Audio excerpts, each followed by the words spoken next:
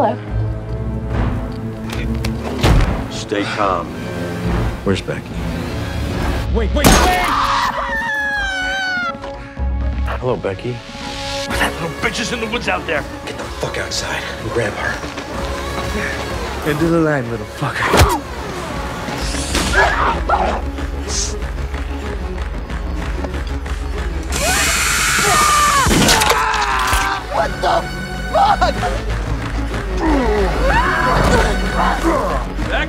Becky! You're clearly a special girl! Ah! I'm looking for a key. Ah! You're a smartass, stubborn murderer.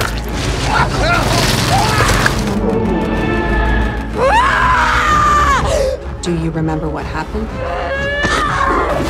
I'm sorry. Becky is as strong willed and vindictive as they come, so good luck.